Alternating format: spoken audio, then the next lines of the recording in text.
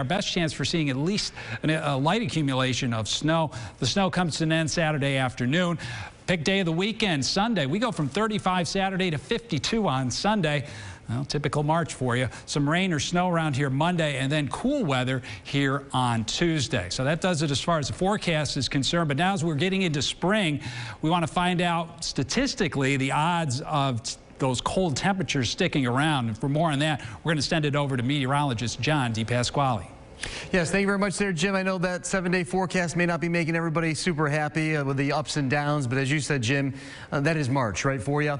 Uh, average last time we feel temperatures of these numbers, all right, this magnitude, we're talking below 20 degrees, so highs in the teens is the average last date for highs to be at this, uh, this number, talking February 18th. So we should be done with that, right?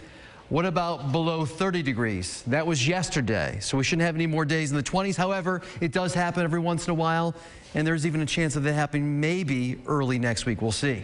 Doesn't happen often, though.